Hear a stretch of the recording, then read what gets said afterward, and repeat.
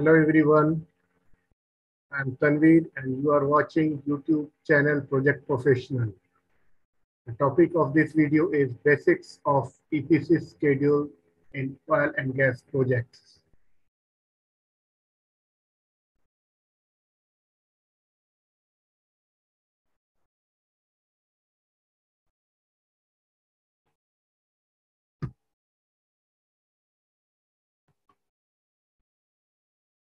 Now, we'll first define what is EPC.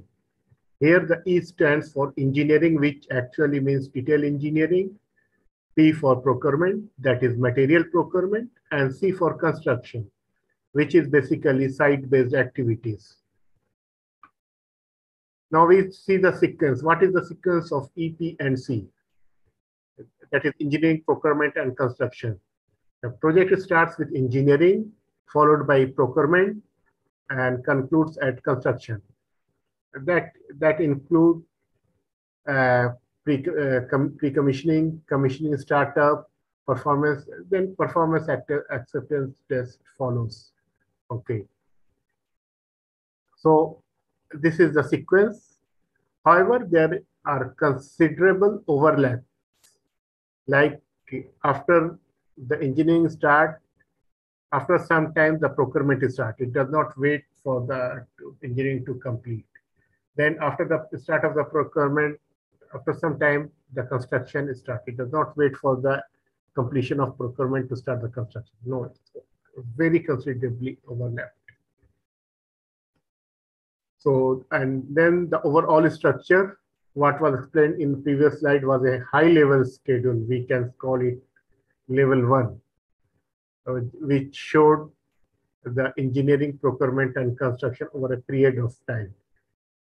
Now, in, a, in any major project, uh, the schedule runs down to level five or six, and it depends of, on lots of things, the scope, the complexities, etc.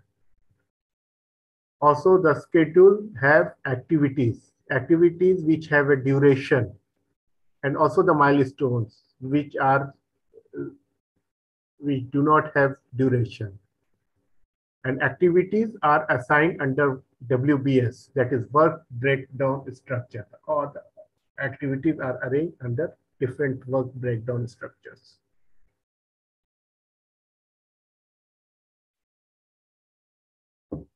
Then uh, we see the pictorial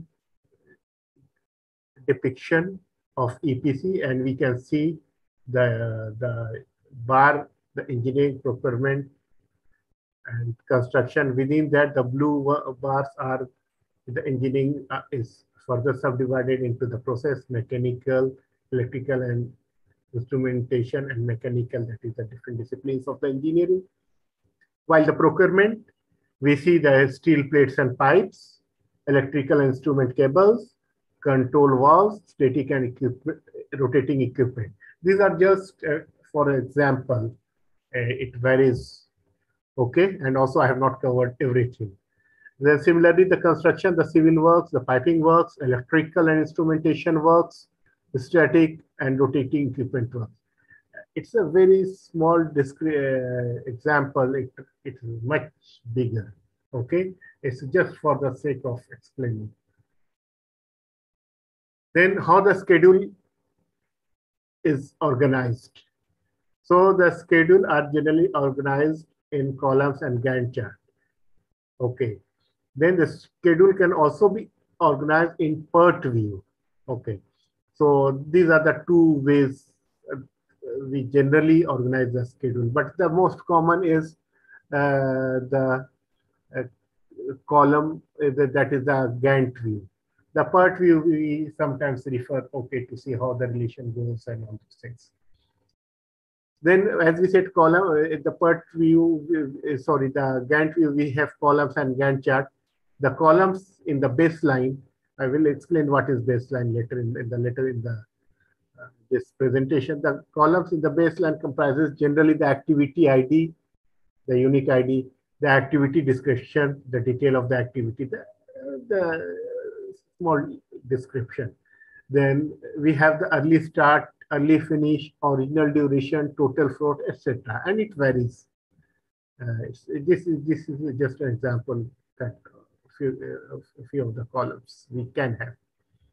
Then apart from that, the update. This this update also will explain in the later uh, slides. The update have some additional columns that is start date, completion date, that may be the actual or the forecasted start complete, then uh, actual or forecasted completion, then percentage progress of the, each activity, and as the uh, activity progress, what is the remaining duration? These are the additional columns. And also this also varies. Then, uh, as we said, that the pictorial, pictorial view uh, example of schedule view. Uh, this we have left side, the Gantt view. If you see the columns, what we explained earlier. And also we have here uh, this different level like the uh, level one in the yellow bar, uh, like milestones, engineering, procurement, and construction. Then within that, the engineering, there are disciplines. Then procurement also is subdivided in construction. Then it is further sub, uh, broken down into the activity. The right side is the bars and the uh, diamond shape that describes the diamond shapes describes the milestones, the bars for the uh, this activities, and we say it see it, it has a certain length based on the duration. Also, some uh, we see that in some cases it is, uh, the other is starting after the one is completing. There are while in the other there are overlaps. So this is the pictorial view of the Gantt. Then right hand side is the PERT view. It's a very simplistic way we have uh, presented here. So within that three different EEP and C, we have put different boxes, which gives the engineering different disciplines of engineering and diff different procurement data and this different construction and different disciplines and their relations, how they are related. Uh, it, here it is much less complex. The relations are much more complex if we go there in the real life schedule. Also, the boxes we here we have only, if you can see, we, we have written like process, mechanical, and piping and so on. But in uh, the real life, we see that the, the activity description, early start, uh, early finish, float, etc. The other things are also described there. As we said that, okay, uh, uh, discuss about the baseline and update, but we didn't uh, tell you the detail of the what is baseline, what is update. And also we have added further two things, recovery and revise schedule. So start with the baseline. Uh, is a, it is a schedule prepared, reviewed, approved, and frozen to act as a benchmark. Okay. The update is a copy of the baseline where the activity actual start, progress, and actual completion date are updated as the project moves on. And, and generally it is updated every month and the, whatever activity progress, it is updated there. And it is, the, the schedule is run with cutoff date as basically end of the month or last week of the month. Then recovery schedule. We have uh, stated recovery and revise. Recovery is also revised uh, schedule only, but the only thing is that here uh, the original completion date remains unchanged. It, why it is done if a project has slipped, so we want to reorganize the, the work uh, so that we don't change the completion date, then it is a recovery schedule while the, the revised schedule is the one where the, generally the, there is a change in the completion date. It may be due to scope, addition, deletion, uh, change in scope, or any other addition, deletion. So, which is reflected in the revised schedule, where, generally the date is shifted. Then we come to the loading and assignment. What are the loading and assignment? To perform a task in a particular time frame and an activity requires certain resources, daily working hour, work weeks, etc. Hence, resources are loaded to activities like manpower, equipment, etc. So like some, uh, if it's an activity for welding, so we need uh, welders and, uh, and then trade uh, assistant, etc. If it's a lifting activity, we need uh, cranes, we need riggers, etc. So these are loaded. Similarly, uh, calendar also assigned to activity. If engineering activity is the home office base, so the working hour may be different from the site. Also, the working week may be different. So different calendar for the home office, then different calendar uh, for the site. And similarly, there are other calendars, maybe at, uh, we have uh, ordered some material from outside and the manufacturer follow another calendar. So those are different calendars. Also, we assign weight, cost, cost account category, other things to the activities. S-curve and histogram. Based on the what we previously stated that loading assignment, we generate S-curve and histograms. Based on the cost, weight, and resource loading, S-curve and histograms are generated. The S-curve and histogram generated from baseline are benchmarked to assess the progress later on. Uh, this, uh, there are S-curves and histograms which are associated with the baseline as we described earlier.